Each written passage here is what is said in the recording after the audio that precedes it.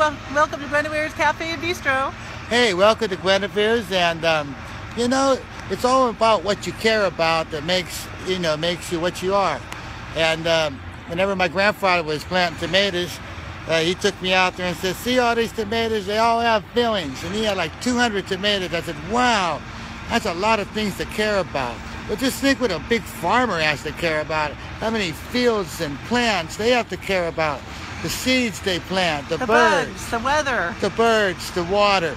I'll tell you what, it's what you care about. And that's what's in this rice. You can feel it. You can eat it tonight at Guinevere's Cafe and Bistro. It's delicious.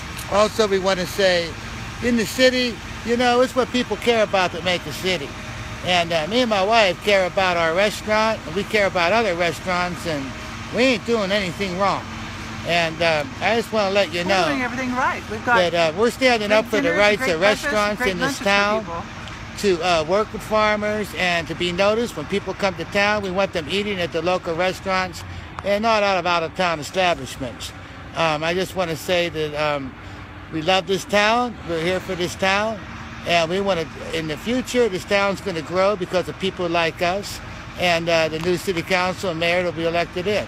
So thank, love with. So thank you very much. Thank you.